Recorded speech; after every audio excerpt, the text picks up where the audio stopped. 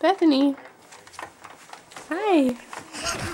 Oops. Are you okay?